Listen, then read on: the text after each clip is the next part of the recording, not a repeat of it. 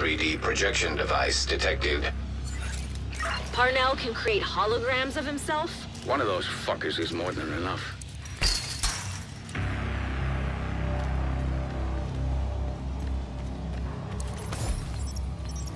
How can you believe that horse shit?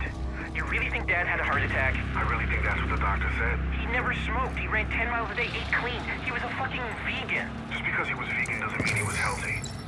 French fries are vegan. You know Dad was trying to impeach President Waller for campaign finance violations. Don't start this shit again, Theo. Then his autopsy report goes missing. Theo. Harry, they fucking cremated him. They destroyed evidence. You ever hear of Digitalis? Foxglove? It can stop your heart, and without that report, there's no way to know if they even tested for it.